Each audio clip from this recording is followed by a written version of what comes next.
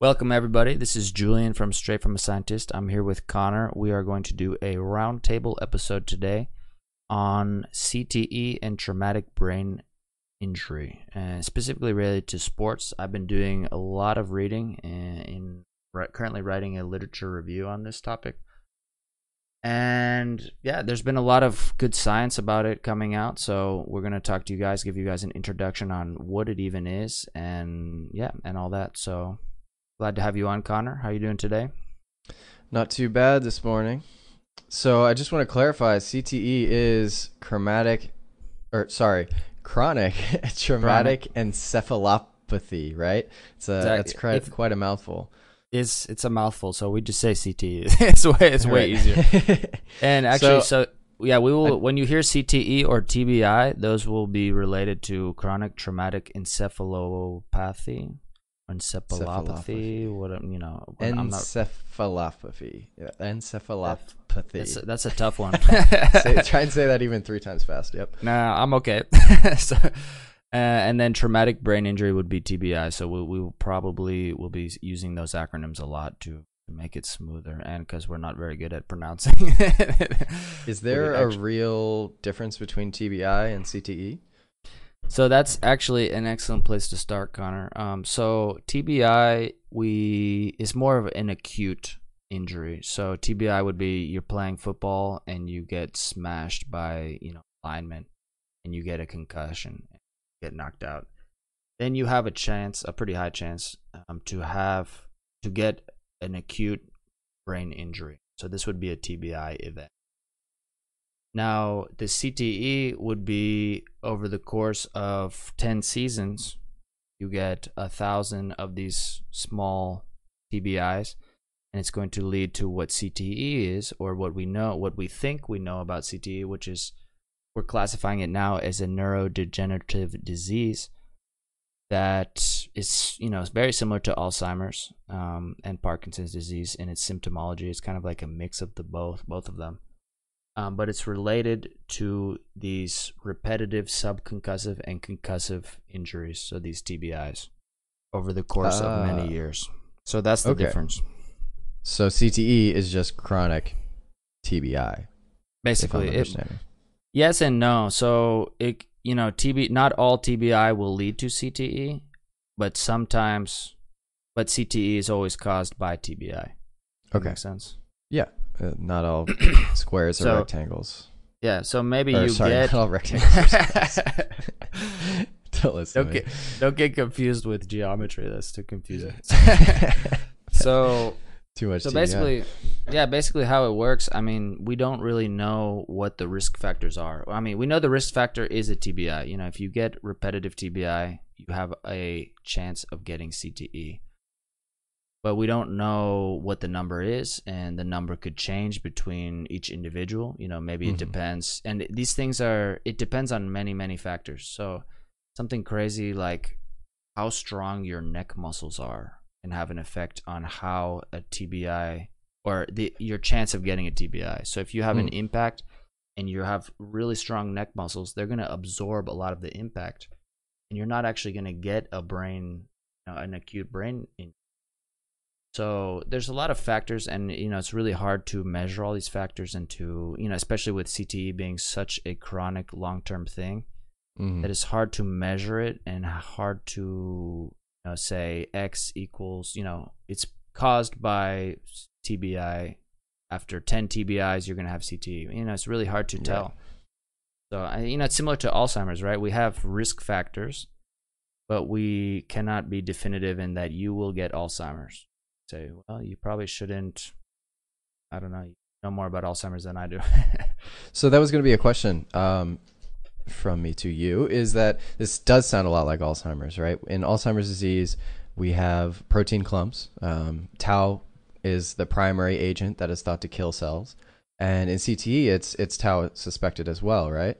So, I guess my question is, what in terms of diagnoses do doctors use to determine whether it's CTE or Alzheimer's, or are they really one and the same? Because I do know that traumatic brain injury can increase your risk of Alzheimer's disease by a massive margin. I don't know the exact figures, but um, anyone who is exposed to brain injury, um, even early on in life, can suffer a lot of detrimental effects later in life via Alzheimer's like symptoms.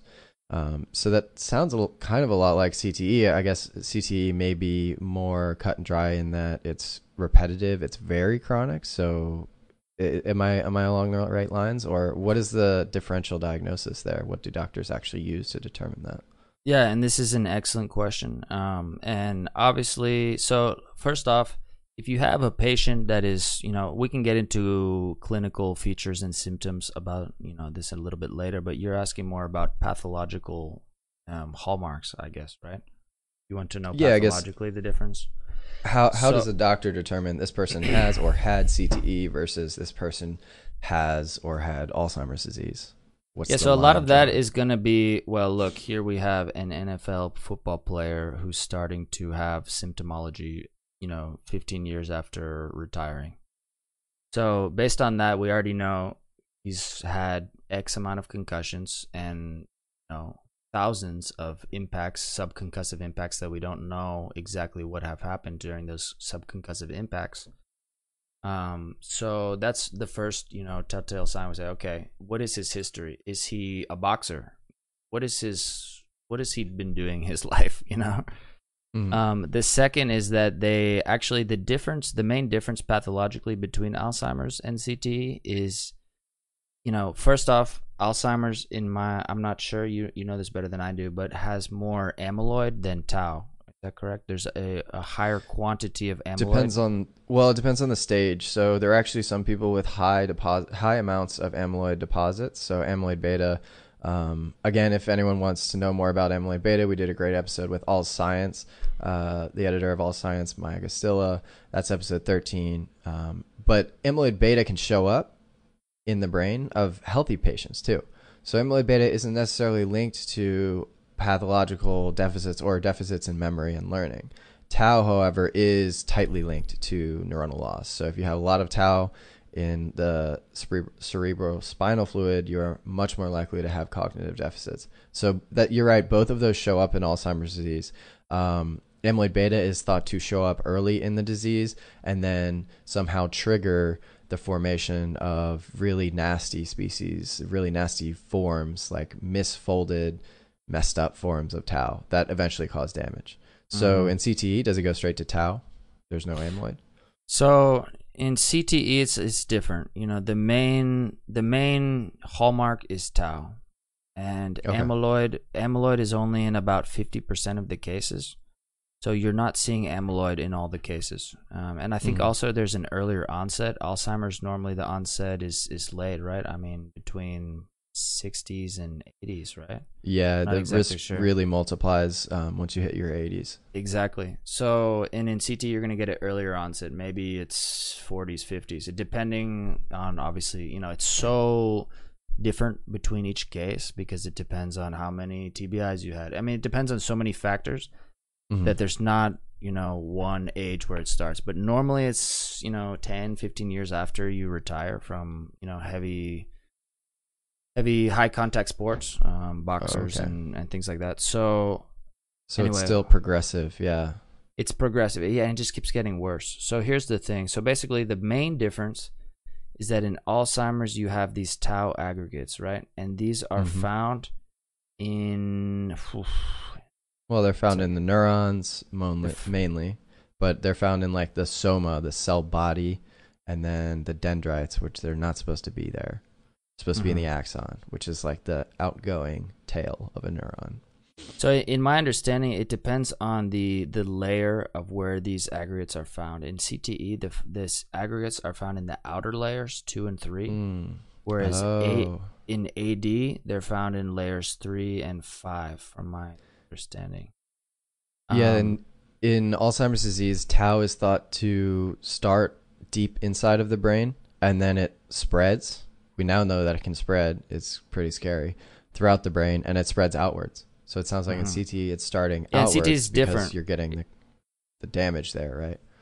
Exactly. So this the structure of the tau is the, basically the same, but in CT you're gonna have a different pattern of distribution. And and what they do to see this is they use these PET scans. This is very new. Um, Mm-hmm. they're using these radionucleotide PET scans that bind to um, all these things, amyloid and tau and all this, and you can get a visual image of where it is bound to, right? hmm So that's Now- positron emission tomography, if I'm not mistaken, Exactly. right? Yeah, exactly. So I just want to visual, help people visualize that. Um, we can definitely put some stuff up in the show notes on this. Uh, it's essentially a tracer, so it's like exactly. uh, like a little tag that you can put on, and it, it'll find these proteins. Exactly. So they they drink some sort of you know it's like a contrast almost, but it's radioactive, hmm and it's going to bind. I don't know how maybe after ten minutes or twenty minutes, whatever it is, to all these you know, aggregates in the brain, and then you do the PET scan, the PET scan, um, and you will be able to see where it's bound to, and that is one way to diagnose. Um, but it, I mean, this is all recent. This is all in the past couple of years. So these It is These really have exciting, not- though. have not been validated. You know, it's, it's being used for research purposes, but not really clinically to say you have CTE. You know, maybe they know. I don't know exactly where it's at right now, but I know that they have recently started using this, and actually recently they have confirmed it post mortem, which is huge. Especially, Mhm. uh, you know about this. Um, once you confirm it post mortem, that's that's a big step. So they did this PET scan with the radionucleotide.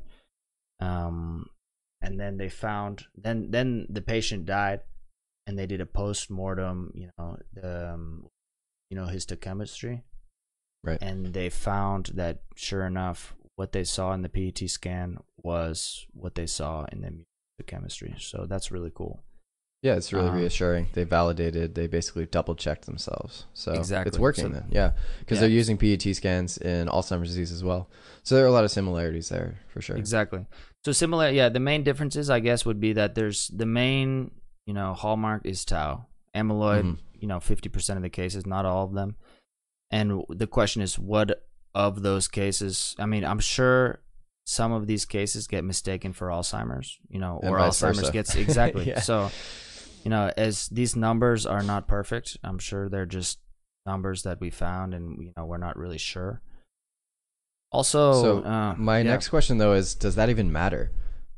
Uh, Mm. Because like, what are the treatments for CTE versus Alzheimer's disease, like AD? Are there Yeah. any differences? And I mean, does it even, should we just be treating everyone the same? Well, the question is, are there any treatments? Period. Right? Anything?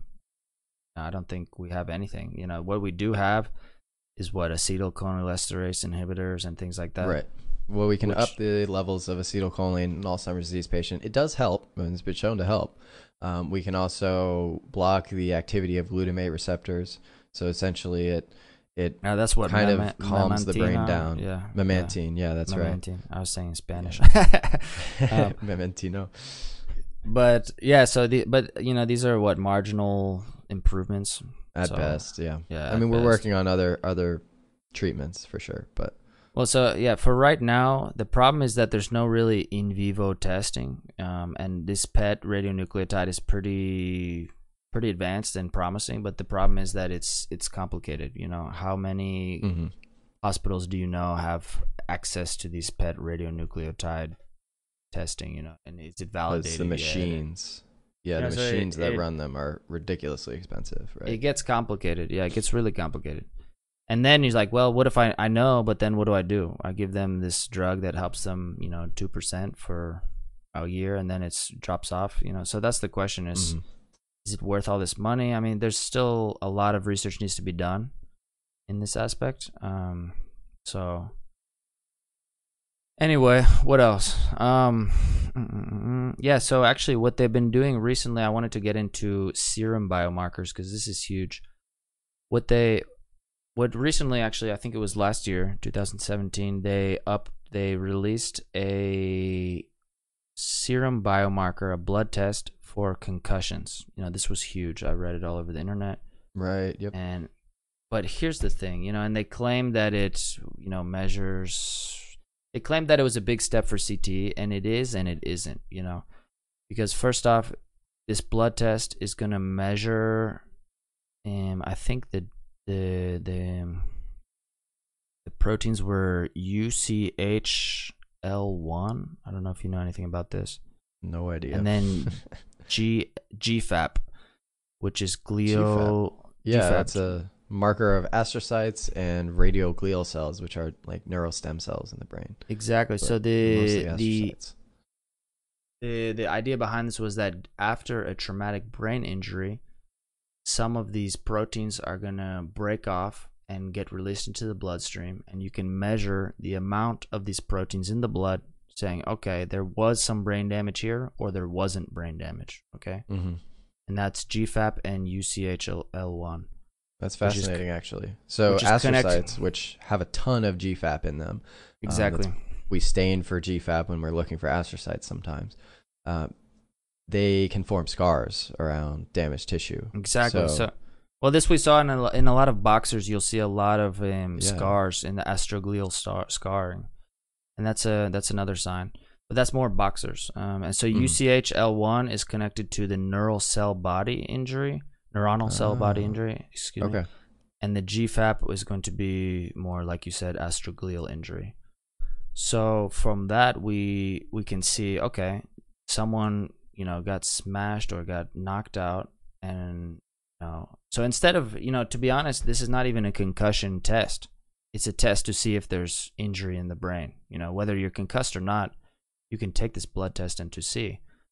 You know has not you know that's the other problem that we see is that concussion is not directly related to the amount of damage that's happening. Oh, so they're finding that weird. sub. Yeah, it is. You know, it doesn't make sense. You would think that it- someone getting concussed is gonna have more damage than someone not getting concussed, but that's not really the fact.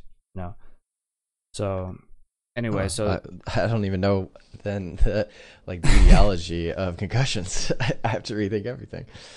Yeah, so concussions, from my understanding, is your brain is hitting the the the walls of your Mhm. skull, and it's you know kind of producing like an automatic shutdown mechanism, right?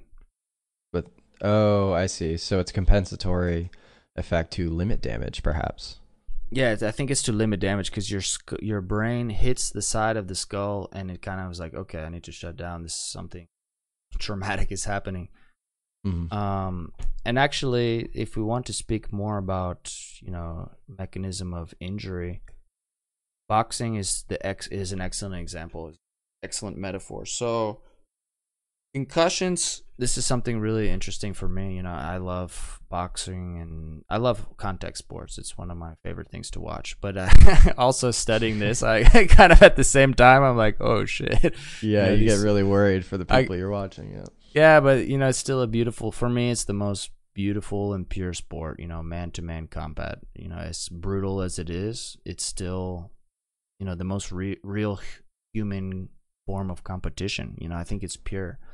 Well, because uh, all sports are simulated war, anyways. Exactly. So if you get to the base of what it is, then yes, we're just watching war.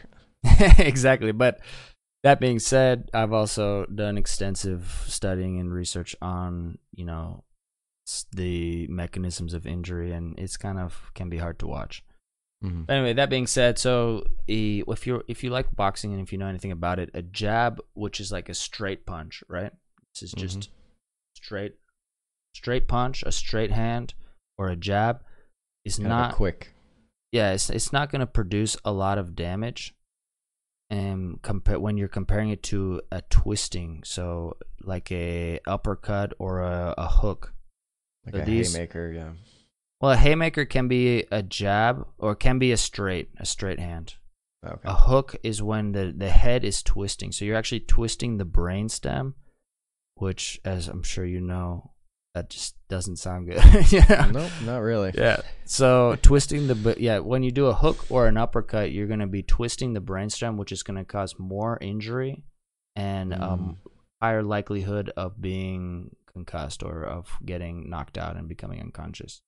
hmm So it depends also on the mechanism of action. So the the other problem with CTE is that depending on what sport you played or what history you have, uh, depends on a lot on what symptoms you might have and even what aggregates are building up in your brain. So that being said, um, line you know football players, which is huge, they have more linear impacts, right? They're gonna you know more they're going straight forward, you know, hmm into somebody else. So whereas boxers, you know you want to give a hook or an uppercut so you can knock them out, right? So you're getting more twisting forces, right? I see.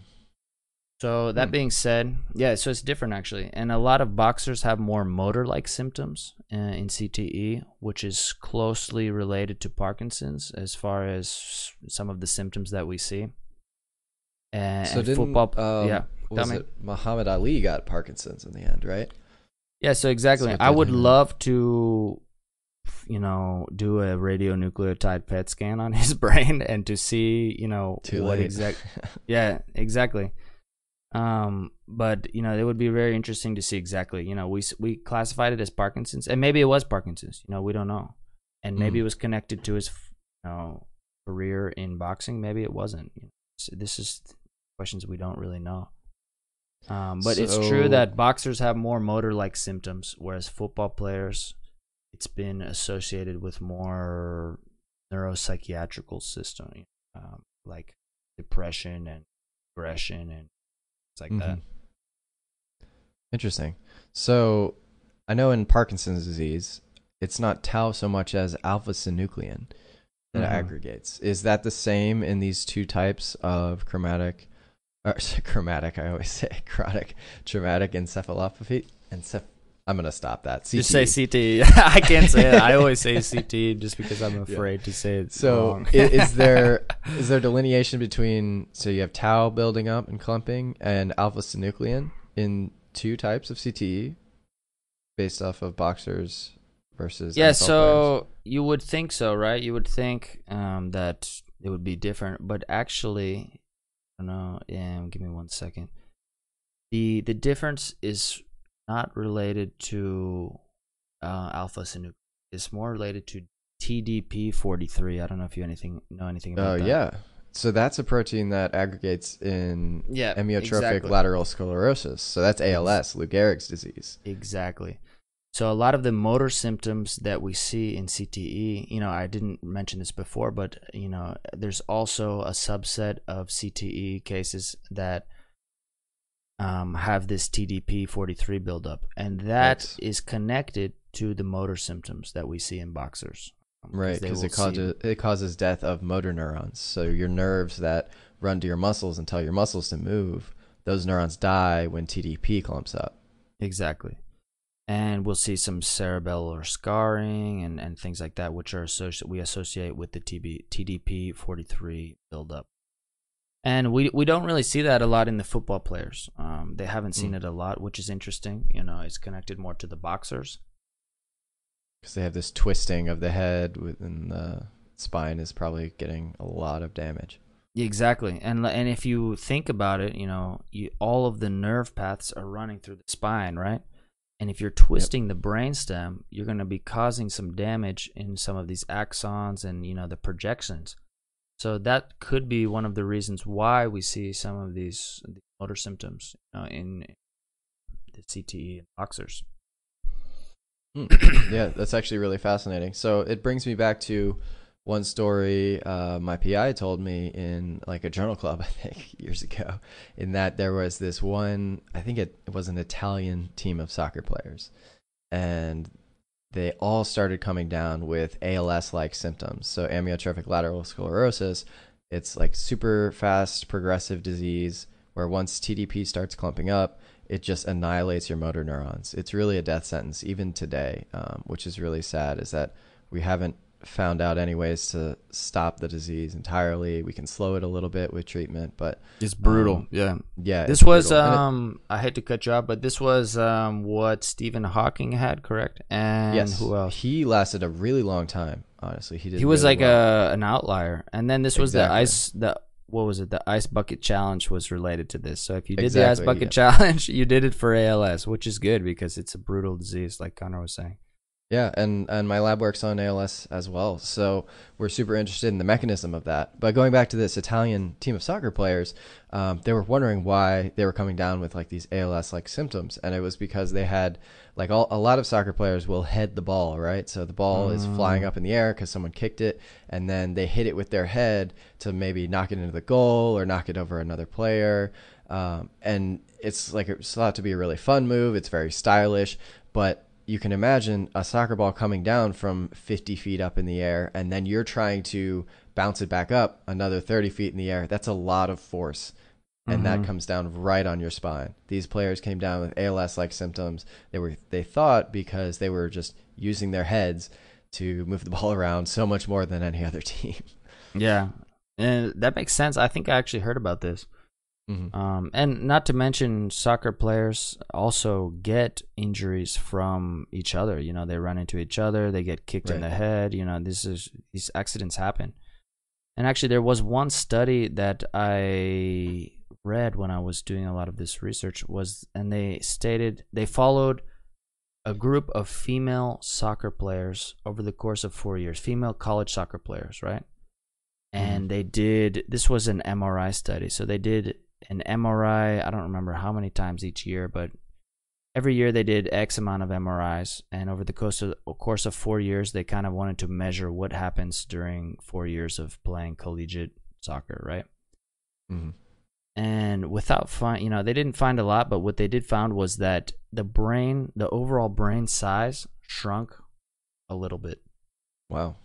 which is crazy Now was and, it, that and they're comparing the binge drinking in college, or but not really i mean compared to the controls the brain was growing you know like what they were saying is that this is crazy because in a period of time where your brain normally is gaining mass they Mhm. were losing mass you know That's and whether you know, and some of them had you know concussions and things like that during the seasons, and this is normal, you know. But Mhm. just the fact that they measured a marked, you know, decrease in brain size was kind of crazy. Um, you know. Yeah, But obviously, yeah, this is just a preliminary study, and you know, it's it's not one all be all, you know. So, So- we can't stop playing these sports, right? Or at least some of us can't. Well, I think Certainly, you know, for me, here's the thing. I I'm all for sports. I've done my fair share of sports. I think you need to what what there really needs to be and what I'm trying to work towards is to come up with like a clinical diagnosis or a risk factor. You know, if you have X amount of concussions and we marked that your GFAP levels were X, you know, to come up with a clinical limit and to say, look, you need to stop. You know, you need to Mhm. stop playing sports. You have a risk. You you know had two concussions the past couple of years. We're kind of worried about you. You should probably stop playing contact sports. You know, and probably start doing things that promote neurogenesis. Blah blah blah blah. And to try to, you know, I think that's what we need to do. And the biggest problem now is that the subconcussive blows are actually related to this. You know, so you don't even need to have a concussion. mm, And you know, how many football players do you know? You know, if they get hit and they didn't get concussed, they want to go back in and play. You know, they're not going to say, you know, the co- if the coach says, "Are you okay? You okay? Like, you sure you're ready to go back in?" He'll be like, "Hell yeah!" like, what are you talking about? yeah, no, you these- don't want to stop playing. You're Nobody wants play. to stop playing. Exactly. So the problem, you know, there needs to be some sort of numbers, and c- we need to quantify the risk factors. See what I'm saying? To say, mm-hmm. look, you've had, you know, you played two seasons, and we see a high level of GFAP in your blood. We sh- you should probably take a season off, or, you know, we need to figure out a clinically how we can measure the the amount of damage and then we need to come up with some sort of guidelines you know to say look stop playing or keep playing or you're fine or you know what i mean i think this is Mhm. the future This might also help you understand how, why some people are more resistant to it or protected Yeah, from exactly. it, and then maybe they're doing something right that other people can adopt those strategies. Yeah exactly so i think this is the next step um, another thing i th- from my understanding i've read a couple papers that were exploring apoe4 gene which i'm sure you know a lot about Yep, Which is connected major risk Alzheimer's, gene yeah. in Alzheimer's. Yeah. and some studies said yeah it's connected other studies said no so it's kind of i think more studies need to be done on that to figure out is it actually a risk factor for cte as well so it's something. cool. And then genetic testing i think i mean that's the future genetic testing if you have apoe4 and it's connected to this ct then probably don't go and become a professional boxer you know so So Uh, everything multiplies your risk, right? Uh, I know in Alzheimer's disease, it, when you can have something that's like a three times increased risk. Now, your base level for Alzheimer's disease is fairly low. It's reasonably low. But if you multiply it by three, it gets bigger. And then if you get a head injury, maybe that multiplies it even more. So yeah, it's what you're talking about, right? We don't want to have someone who's already vulnerable do something that increases their risk. Yeah. Well, and and this is different than Alzheimer's because usually you are playing a contact sport that is directly correlated with your uh, acquisition of this disease, right? So if we can stop them from playing at an early age when we know that they have a risk, then I think that's that's where this that's where the importance is in this. But it's Mhm. actually, you know, I wanted to bring up one other point before we, we finish this up is that the most complicating thing is the use of, you know, okay, so all this information, a lot of the problems that CTE, you know, clinical issues and symptoms that people have been having with CTE are connected to neurobehavioral changes, right? Like depression, um, emotional instability, aggressiveness, or they're really impulsive and irritable a lot Mhm. of these you know it's something that's not really been explored is you know the lifestyle of these people and the comorbid use of for example steroids is huge i think so you go to the Ah. nfl you have a huge you know a lot of people are taking steroids it's just a fact you know and a lot of these big sports people are taking steroids and that's fine i know I, that's a whole nother conversation you know i don't want steroids is a whole nother you know performance enhancing drugs that's a whole nother podcast But, but- what they do is alter It- hormone levels later in life. exactly Right? so the question is look you're severely depressed and you have emotional instability are we connecting this to cte or is it connected to the fact that you did steroids for four years and now you're in a low testosterone state and your body's trying to recover and you know what i mean get a new baseline and so it's just and you're just depressed and you don't feel good and you're Yeah, let's, unstable let's break that down for people real quick. Not everyone may know the dangers of steroids, right? Um, so if you're taking steroids like early in life, or I think most people probably do it in their 20s, um, around our age, they want to get big and like impress people. So steroids basically up the level of testosterone in a male, at least. I'm not sure what they would do in females. Um, yeah, the same, testosterone actually. is you want the male sex as a female yeah Okay, yeah. Uh, testosterone is typically known as the male sex hormone. It increases muscle density, I believe bone density. It just makes you bigger, stronger, um, and it, it does a lot of things in the brain as well. So Yeah. it's naturally produced at high levels uh, in a young adult, and it's typically thought to decline even in healthy males. But if you're supplementing a lot of testosterone when you're young, your body gets desensitized to it and thinks, "Oh, I I'm getting all this free testosterone from somewhere. I should probably stop making so much, or I don't need to put so many resources into making it." So you make less, and then your body gets used to that. And then if you get off the steroids, then presumably your body can't re uh, ramp up the testosterone production. So later in life, you lose all of this production, and that's when people get depressed because it's also Mhm. very important in the brain, like I said. Well, it takes time. You know, it takes a long time because if you imagine taking it for four years and then you stop taking it, Yep. you know, it's going to take probably at least another four years to get your normal baselines that you had before. You know, it's it's not like just two days later your body's like, okay, it's time to start producing again. No, it's it's going to take a long time to get back to a homeostasis state, right? I have heard that it never catches up, but Yeah, I- and that's I'm another thing. You know, that. I think they need to. You know, that's a whole nother topic that we could we should definitely talk about. Um, but yeah, of course, it's connected to happiness, how you feel. You know, aggress aggression, all that stuff. Mhm. So I think something you know that's confusing the statistics in CTE is that one thing is steroids, and not to mention other drugs. You know what I mean? Who knows? Um, antidepressants, anti-anxiety drugs, um, painkillers. Another one, huge one, is painkillers, in, in Mhm.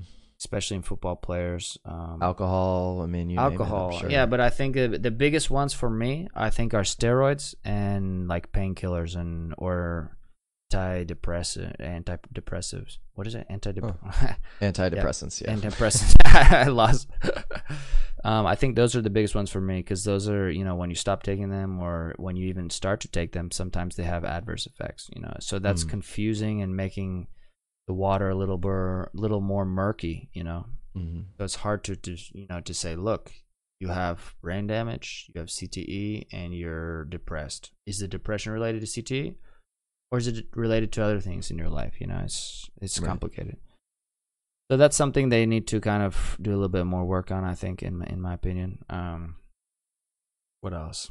But yeah, there's a lot of really cool research coming out every day. It seems like in CTE. Um, the I think the most important thing, I think it's almost more important to be able to do an in vivo early diagnosis of CTE than to test in Alzheimer's. humans yeah, super. because in. Alzheimer's, it's kind of you have it, and you know, mm, what what can we do? You know, that sucks.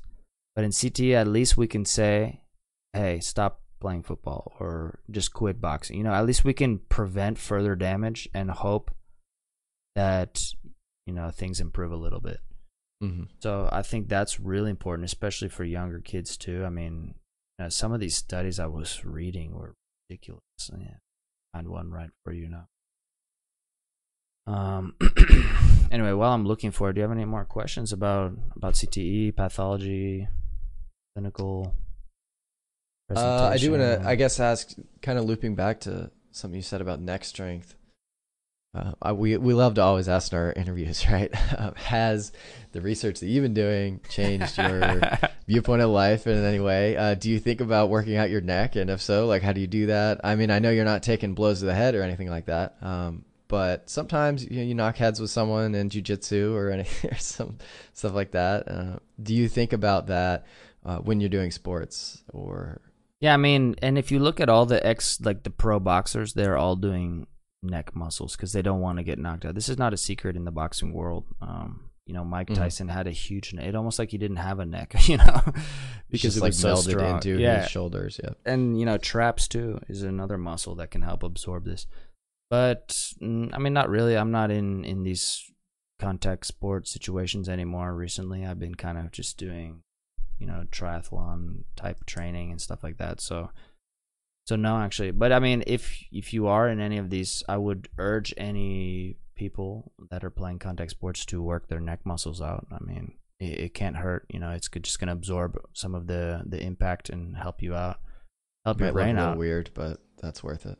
But that's worth it. I mean, you know, and there's I'm sure you can find on the internet plenty different. Just look up boxing neck muscle workout, and and you'll find a bunch of those. Um. Yeah. Anyway, so I found the study I was going to tell you about. That where was it? This was crazy. So they they measured. They wore these special masks, or not masks. What am Mhm. I talking about? They wore special helmets. Yeah, helmets. And they put ten football players during a season, and they wore a special helmet with a sensor in it, right? and they found out that the number of total head impacts per season ranged between 400 and almost 2000 in an individual athlete. So, that, that could be aff- any impact, though, right? Could be like That's a just like it- like I think it's like they had a threshold. You know, I, I can't tell you the threshold of um, of the impact, but I just know Sure, that 2000 is a lot. You know, of course it Yep. depends on what what position you play. Um, I think what wide receivers or I mean, it just depends. Depends what you're playing. Mhm. Um, but still, anyway, that was I just wanted to spit out those numbers because I thought they were surprising. Mhm. So worst sports then, I guess, if we're if we're going by that, boxing would be at the top, uh, football after that, or I, I don't even know. I mean, it, the the problem, the difference between boxing and you're gonna get weaker blows, but a higher amount of blows. In football, you might get some 300 pound guy running at you full speed, you know, and just Mhm. deck you. So this is not Yeah. something you see in in boxing. So I think you're gonna get less blows uh, in football, but you're gonna sometimes get some severe, you know, high impact blows from linemen or something. Someone coming at you full speed. Mhm. Um, so you know that's just from my understanding. I would be worried. I mean, but I love those both sports. You know, I can't say stop playing these sports because I, I'm a huge. Well, a lot of um, what they've been talking about, I think, in both sports actually. Or I know this is a conversation that's happened in the UFC, which uh, is not exactly boxing. It's boxing plus wrestling, basically. For those who don't know, it's like that cage fighting you might have seen on TV. But they've thought about ditching the gloves because in uh, in previous times, like I think probably centuries ago by this point, people used to just bare knuckle box, and it looked really bad. Everyone was bloodied because there were no pads on the gloves. Um, you know that their knuckles would bleed, their faces would bleed because it's basically just bone on bone at that point. But what they think is that that actually limits the amount of blows that you can deliver to someone's head, so the fights are much shorter and you may not actually get as much traumatic brain injury. The same thing happens in football, where the helmets they think allow people to run at each other in breakneck speed, whereas you don't see. I don't think you see this kind of stuff with rugby, where people aren't wearing helmets, right? You get a t- you get a ton of other injuries in rugby, but I don't know about the head injuries. Uh, you're you're definitely still getting the head injuries in rugby. Um, there have like I had seen a couple studies in rugby players and MMA fighters um, but not to the extent of of boxing and football players. Just mm-hmm. maybe it's because of where the money's at, and you know who's doing. They're the more studies. common sports, exactly. boxing and football than MMA. But rugby. definitely rugby, they get smacked. But that's that's an interesting point, you know. And I don't think that will just solve the problem. You know, say take sure. the gloves off, yeah. and you know you're not going to get head injury because you're still going to get head injury. Especially, yeah. you know, the, I think still hitting each other. MMA is almost worse than you know. MMA is one of my favorite sports to watch. I, I'll be honest, but I think it's almost worse than boxing because you get the elbows and the knees and the kicks mm-hmm. to the head, and those are bone on bone, and you can produce a lot more power from a leg or a knee you can with a with a hand, right? And potentially, like some submissions are choking the other person out. So imagine you hit this person in the head a bunch, and they're you know their brain is trying to recover and then you pass them out by restricting oxygen flow to their brain i don't think that's good yeah um, i think that's a good way exactly. to recover no, it's not. It's going to cause more, and that's a whole other thing I would love to get into. Uh, you know, it's cutting blood flow to the brain in jujitsu is something I thought about a lot. Because I, mm-hmm. I mean, me and you have been, I've been doing jujitsu since I was 18, a long yep. time. And yeah, you know, just after learning neuroscience, you know, I started to started to think like, whoa, I don't, you know, what happens when you cut the blood flow to the brain? You know, you see cell yep. death, you know, necrosis, and this is just something that happens. so that's why your brain shuts off if you get yeah. choked out for too long because it realizes it doesn't have the fuel. It says, "All right, we need to conserve." Yeah, and to prevent you know more necrosis from happening. So anyway, these you know, I'd love to see. That's what you know. This is this is one of the reasons why I love research on neurogenesis too, because it's kind of just repairing the brain you know? You, have been through some wars but you want to repair you know? So what can you do to do that? Um, so yeah that's you know i think the future will be in vivo diagnosis some guidelines to say hey you should probably stop. And then ideally some sort of you know neurogenesis plan that can help you to regenerate the damage you've done throughout life or throughout whatever you know high impact or high risk sports you've been doing. Yeah, it's also actually military was another big one. You know, a lot of blast impacts. Oh, right. There's a lot of yeah. studies on that. It's been in the news, and a lot of vets, especially from the Iraq and Afghanistan war theaters, have been killing themselves from depression. And uh, when you look at their brains, they're deficient in a lot of the hormones that keep us balanced every day, right? Exactly. Well, this was one thing I did not get into was was that was uh, military yeah exactly and the suicide rate and they're way the higher whole, than other wars well the whole reason is that the whole reason why CTE research begun was I think in my opinion was you know CTE and TBI has been studied for many years but it really got you know came the limelight after a couple NFL players committed suicide, right? And that's when you know the news really said look you know famous rich happy nfl player killed himself. And then you're like why? What happened? And then they're like well it's brain damage. Then they start to put a lot of money into it and you know then the you know have you seen the movie concussion? Nope. Well you need to watch that. This is oof, everybody that's that? listening needs to watch this movie called concussion. Concussion it basically explains this whole story, you know, the fight between NFL and actually Will Smith, I think, is the main actor. It's an mm. excellent movie. Uh, he's an investigator. I don't want to spoil too much, but he, you know, does a lot of post-mortem studies on some of these NFL players, and he finds Tau all of a sudden. He's like, "Well, this is a disease," and then the NFL fights him, and it's just an excellent movie. You need to watch it. So yeah, it's all based on a true story then. Yeah, this is all a true story. This is based on uh, one of the top researchers who is Bennet Omalu. Actually, if you're interested in this, this is the guy Mhm. that you know. This is the guy to follow. He's he's. I think he's based in Boston. Boston is one of the top um areas for this type of research. So anyway, Bennet Omalu, he's like the top dog in in the field. So. Hmm. Anyway, yeah, this movie I believe is based on him. I'm I'm not exactly sure, but the movie is excellent. You should watch it. I mean, even for people that you know are not scientifically based, you still need to watch it. It's just it's just an excellent movie. Sweet. Yeah, I'll check it out. It's just called Concussion. You know, that's it. So yeah, Nice. Connor, um, I'm running out of things to tell you. We're definitely gonna do a part two. I have a lot more to tell you actually, but I'm gonna save it. So You're kind of writing the book on this, right? I'm trying So- to. Um, you know, it's one of my main interests. Me, you know, having a physiology and exercise science background, and then going into neuroscience. This has been, you know, it's literally the perfect thing for me to get into. You know, brain damage, sports. Um, you know, I love working with athletes, so this is something I'm I'm pushing for. So I'm doing a lot of reading and research, and staying up to date. So, so yeah, we we're gonna do a part two in the next, you know, maybe month or so, and with you know more information. So Keep an eye out for that all. Nice. That's it. Um yeah, I don't have any more questions for you. I think this is really good field to keep advancing because uh, like you said we're seeing a lot of athletes and soldiers come down with this.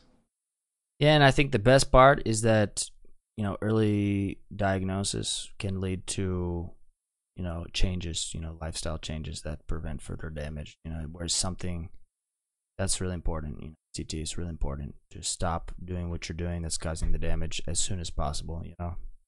So, I mean is it essentially just stop uh playing those sports or are there other things people can do? Oof, Like- I mean, Probably eat uh, you know, good diet and first step, yeah, the right type of exercise as long as it's not traumatic exercise. You know, neurogenesis is a whole another thing that we should talk about. You know, or just Mhm. or lifestyle changes to have a healthy brain. You know, we should do a whole podcast on that. Oh, definitely. So, so yeah, that's about it. Well, thanks for tuning in, everybody. Uh, it's been a pleasure, and look forward to telling you guys a little bit more about thing and, next next step in this in this field. So, Yeah, shoot us any questions that arose from you listening to this, and we can address them in the second part. sweet. Well, thanks for tuning in. Bye. Take care, folks. Yep. Thanks, all. Three, two, one, stop.